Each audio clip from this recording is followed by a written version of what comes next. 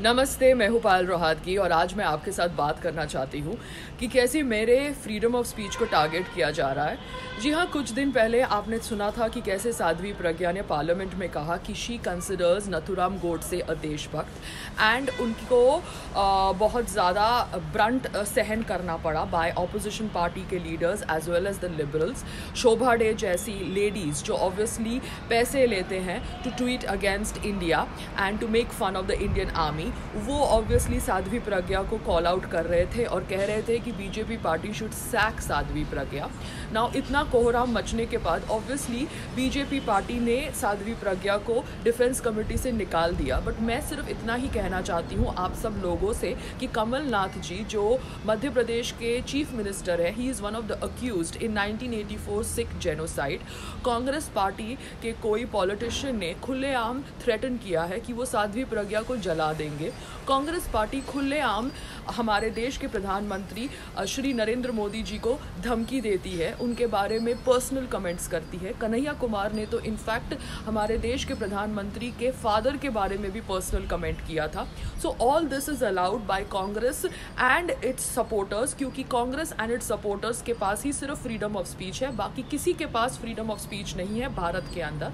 People who support BJP party उनके पास भी फ्रीडम ऑफ़ स्पीच नहीं है, क्योंकि मेरे फ्रीडम ऑफ़ स्पीच को भी टारगेट किया जा रहा है। मैंने एक वीडियो बनाया था on Motilal Nehru ji on basis of a internet article and that internet article quoted that उन्होंने वो आर्टिकल लिखा था on basis of M O Mathai's book मगर उसके बावजूद राजस्थान से कोई एफ़ आई आर दर्ज करी गई है against me and this is happened because a Congress politician wants to do this and you know curb my freedom of speech I feel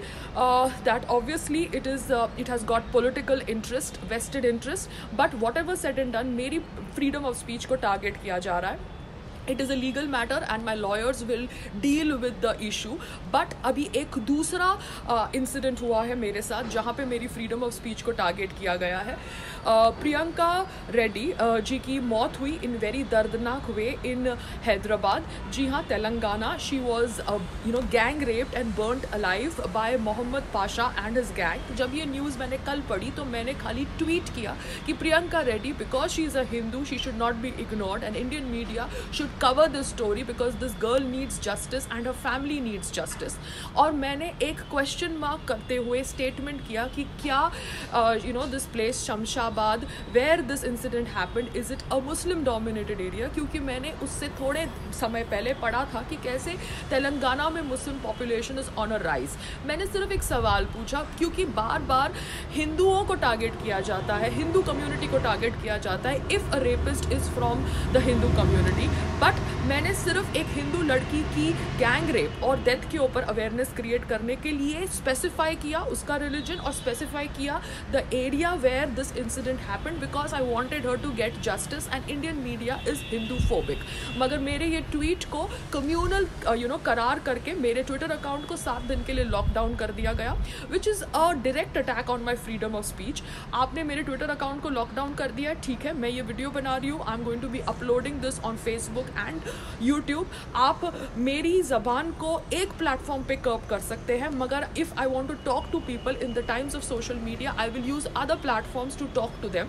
so मैं खाली इतना ही मैसेज दे रही हूँ कि समवेयर आई फील कि फ्रीडम ऑफ़ स्पीच सिर्फ़ जायदाद है कांग्रेस की। Shobha De and you know all these liberals जो कांग्रेस को सपोर्ट करते हैं, वो कुछ भी बोल सकते हैं इन द गाव ऑफ़ फ्रीडम ऑफ़ स्पीच क्योंकि शोभा डे के ऊपर तो आरोप लगाया गया था by a Pakistani you know activist that How she use to take money to tweet against India and Indian army तो ये लेडी जो ऑब्वियसली अपने आप को इंटेलेक्चुअल राइटर बोलती है is talking about the fact that Sadhvi Pragya should be fired because she expressed her personal thought process that Nathuram Godse is a deshbhakt according to her she did not say that what Nathuram Godse did to uh, Mohandas Karamdas, Karamchand Gandhi was correct. But she can have a personal thought process behind, uh, you know, uh, supporting Nathuram Godse's thought process. मगर उसके thought process को target किया गया और कहा गया कि उसको पार्टी से ही निकाल देना चाहिए। So this is what BJP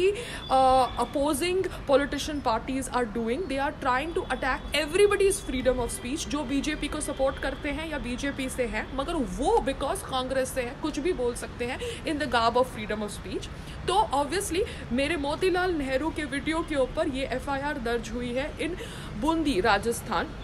Which is attack on my freedom of speech इसके अलावा मेरे ट्विटर अकाउंट को अभी सात दिन के लिए लॉकआउट कर दिया क्योंकि मैंने प्रियंका रेड्डी के रिलीजन को कॉल आउट किया क्योंकि मैं चाहती थी कि प्रियंका रेड्डी को जस्टिस मिले so this is what is happening in India and I am very very disappointed because हमारे देश के अंदर social media is obviously on a rise and there should be you know correct rules for social media social media इतना bias तरीके से Hindu phobia promote नहीं कर सकती है।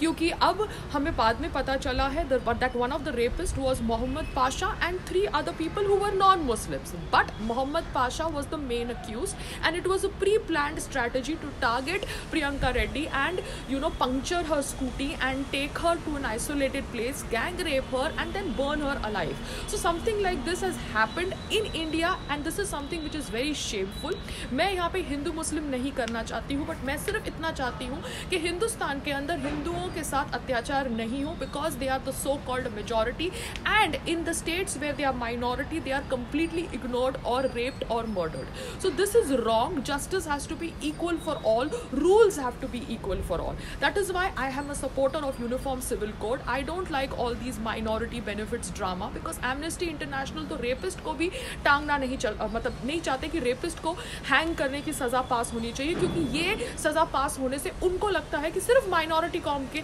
आदमी ही पकड़े जाएँगे। So this is amnesty international की सोच जो एक ह्यूमन राइट्स ऑर्गेनाइजेशन है। तो इस तरह से एक गंदा नैरेटिव स्प्रेड होता है और यही नैरेटिव अभी भारत के अंदर स्प्रेड हो रहा है एंड ये बहुत सालों से स्प्रेड हो रहा है। So we as Hindus need to come together because ये मेजोरिटी के चक्कर में हमें पूरी तरह से टारगेट किया जा रहा है। हमारी फ्रीडम ऑफ़ स्पीच को टारगेट किया जा रहा है। हमें केसेस में फंसाया जा रहा है। अगर हम कुछ बोलना चाहते हैं about a party that we don't support yes I don't support Congress and I find Congress a very biased political political party तो ये मेरी निजी सोच है। इससे आप मेरी निजी सोच को कैसे टारगेट कर सकते हैं? By saying that I am you know breaking the law everybody has a right to speak कोई लोग तो हिंदू गॉड्स एंड गॉडेसेस का इतना मज़ाक उड़ाते हैं। बीजेपी के प्राइम मिनिस्टर हमारे देश के प्राइम मिनिस्टर नरेंद्र मोदी जी के फादर के बारे में इतनी गंदी स्टेटमेंट्स करते हैं। उनको चोर बोलते हैं। एवरीथिंग इज़ अलाउड बट अगर मैं कुछ बोलना चाहूँ against Congress Congress is you know